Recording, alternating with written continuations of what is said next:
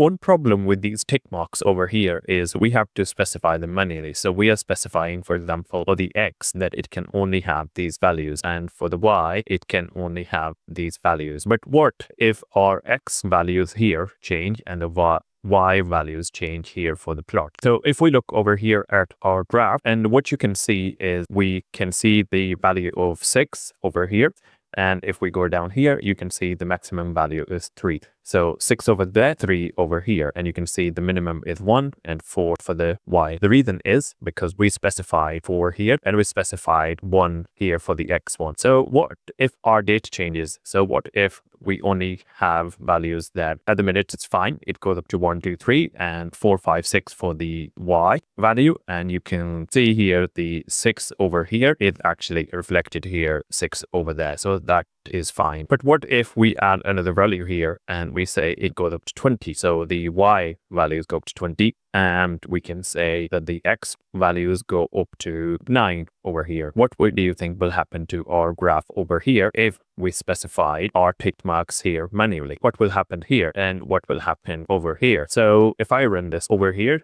you can see what has happened is the values here have been collapsed or squished over here and the same thing has happened here. And suddenly we have this whole section which is empty and the whole section here which is empty. So that's to be mindful of that if you specify x ticks and y ticks manually then you will get a graph that looks very strange. So it looks like this and you can see the both axes not behaving correctly. So you must be careful when using x ticks and y ticks here and manually setting them because you may get an undesired outcome